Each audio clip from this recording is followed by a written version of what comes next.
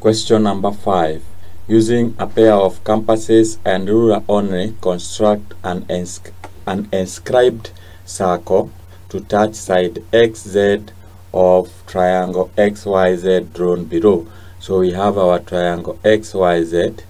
Uh, we are supposed to, uh, to draw an escribed circle touching X and Z uh, so and we are supposed we are instructed to use a pair of compasses and a ruler only. So you don't use any other instrument.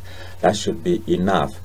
Uh, so we are going to extend uh, the line YZ and the line XY uh, XY and then we bisect the, the angles uh, so let's do that. So place your ruler on the uh, YZ and you draw a line uh, joining the, the, that point Z and then uh, we are going to place our ruler on XY draw the line joining X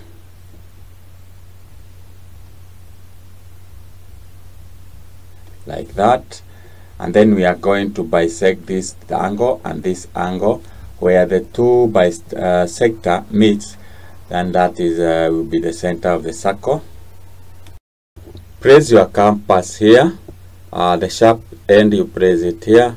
And then you make a mark here. Uh, so that is uh, your mark. You also do that the, the same to the other side. And you have uh, your mark there. So we are going to use these two points to bisect the line. Uh, place your compass on one of the mark here and you make another arc here. Uh, so this is the arc. Uh, change the compass to this point and make another mark make another mark here. So you draw a line from Z and passes through this mark here the cross section of the two arcs. You come up with a straight line. So with your ruler touching Z and the point that we have uh, the two points have crossed you draw a straight line. So this is a straight line that touches Z. You, you repeat the same process uh, at point Z and you also so the two lines will intersect at a certain point. So let's do that. So place your compass here and with the, the compass at that point you make another mark here. Uh, so this is what you do that mark and you repeat the same to the other side. Uh, so you make uh, another mark here. Uh, that mark. And we are going to use the two points to make two arcs. Use your compass here the sharp end at this new point. And uh, using the other side uh, you rotate your compass and you come up with that. So with that uh, we can use the other, other the other point that we had made and we make a mark. Uh, so with that we come up with a cross section there and now we are going to use a ruler to join this point uh, to make a straight line through that point where the line will meet with this other line. So let's do that. So with your ruler pressed there this point x and these are other uh, intersecting point you draw a straight line uh, like that and then you see the two lines have intersected at this point. So that will be the center of the circle.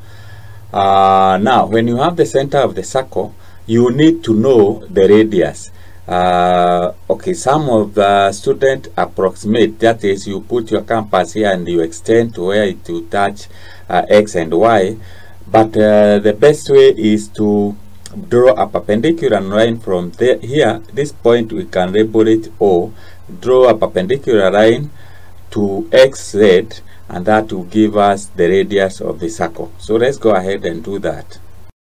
So with your compass at this point uh, you make a mark here and uh, you'll be able to come up with an arc like that uh, you change the position of your compass and uh, you you use that and you make another mark there So we are going to join this line and these two arcs to come up with a perpendicular line to uh, x uh, z. So with your ruler here, uh, you draw a, a, straight line here uh, joining xz and that will be a perpendicular line to xz. Perpendicular here means it is a right angle uh, it is make a right angle right angle with the xz xz and you can confirm that with uh, with your protractor to see whether it is 90 and you can see with the protractor that angle is 90 uh, so this is the center of the circles we are going to use a compass to draw a circle and that circle will touch the three lines. So let's do that. So with your compass touching the center of the circle, which is O, and the radius that we have uh, constructed here, I'm going to make a circle using that radius and uh, now you find that the circle touches the three that is x and y and the extended line. So this is what we call uh, a, an escribed circle. This is what we call an uh, escribed circle which you did in form 3 uh, and then uh, and therefore once you do all that uh, when you are doing it using manually that is using your compass and ruler uh, you should be a bit faster. But for this one uh, I am using the computers and uh, therefore it, it, can take some time. Uh, so with that now you get three marks there and you will get to part B measure the radius of the circle with the circle now uh, the second part is you measure the radius so you measure the radius from there uh, that is uh, from the center of the circle to where we have uh, either you can measure this line or you measure the length from here to here that will give us the radius and you find that the radius is equals to 3.1 uh, plus or minus 0. Uh, uh, 0 point, uh, that is you can say 0 0.1 and there you get you will be able to get uh, a mark for that. And here you get uh, three marks. So this is how the marks are distributed. Mark for extending that is that to give you one mark extending the two lines. Uh, so we can say this is a half uh, actually. This will also give you a half uh, you get another mark for bisecting. So that is that. So you can say here you get a half and here you get a half those two. Uh, then uh, uh, then we have another mark for the circle. So they will get one mark there. So they total to three. The, the, the marks are added there and then you add one. So the total you'll be able so here you get uh, one mark uh, so you get a total of four marks for this question. So that is uh, how you do that question.